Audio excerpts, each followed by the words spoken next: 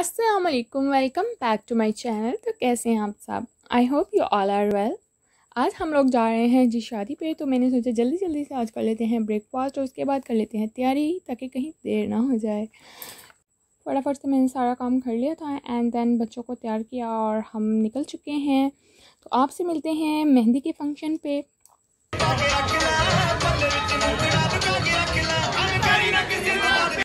यहाँ जनाब आपको पता है कि मेहंदी पे तो हल्ला गुल्ला डांसिंग और यही सब कुछ चलता है और वैसे बाकी बारात और वलीमा का फ़ंक्शन तो सिंपल होता है ब्राइड को देखना होता है और ज़्यादा कुछ इतना नहीं।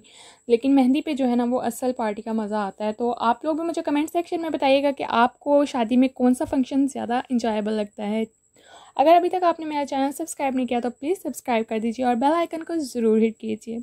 और अगर वीडियो अच्छी लगे तो लाइक भी कीजिएगा। अच्छा मैंने देखा है कि जहाँ अगर आपकी bride and groom same family से बिलोंग करती हैं तो इकट्ठे ही मेहंदी की जाती है और इकट्ठे मेहंदी जब करते हैं तो सभी कज़न ही इकट्ठे हो जाते हैं। एक जगह पर मेहंदी का मज़ा जो है वो दुबाला हो जाता है।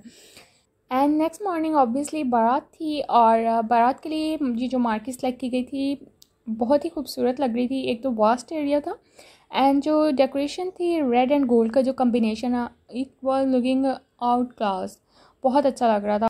This side for buffet arrangement और उसके साथ में ही जेंट्स सिटिंग अरेंजमेंट थी। अपोजिट पे जो है वो गर्ल्स की अरेंजमेंट थी। सेपरेशन इसलिए नहीं थी बिकॉज़ सारे फैमिली मेंबर्स थे।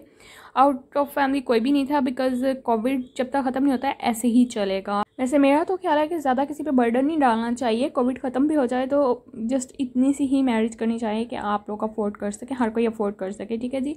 अच्छा यहाँ ब्राइड जो है वो आ चुकी थी, नकाह हो चुका है। एंड यहाँ दूध पिलाई की रस्म चल रही थी। और ये ऐसी एक रस्म होती है जिस पर बहुत ज़्यादा जो है वो हल्ला गुल्ला होता है, बारात पे यही एक रस्म जो है वो इंजॉयबल होती है।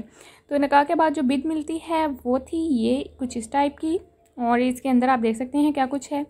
बचपन में हमें इसका बहुत ज़्यादा क्रेज़ होता था, अब तो इतना नहीं है और अब जो है वो ऐसा होता है कि खुद ही जो है वो टेबल पे आ जाती है। बचपन में हम लोग कहते थे, पापा को या किसी को, बड़े को कि ये हमें ला के दीजिए। और अब ऐसा होता है कि हम लोग अपने बच्चों को दे देते हैं और वक्त कितनी जल्दी बदल जाता है। खैर नेक्स्ट मॉर्निंग थी जनाब वलीमे के फ़ंक्शन था और ब्राइड एंड ग्रूम आ चुके हैं और इसके बाद खाना शाना खाया। बस यही होता है वलीमा और फिर जनाब हम घर वापस आ गए थे और बहुत ज़्यादा थकावट हो गई थी तो मैंने सोचा कि आज कुछ ना पकाएँ, बल्कि पिज़्ज़े का ऑर्डर कर देते हैं। तो मैंने पिज़्ज़ा मंगवा लिया था। तो यही था बस आज का छोटा सा व्लॉग आपको कैसा लगा, आप ज़रूर कमेंट सेक्शन में मुझे बताइएगा। मिलते हैं नेक्स्ट वीडियो में। तब तक के लिए अल्लाह हाफिज़।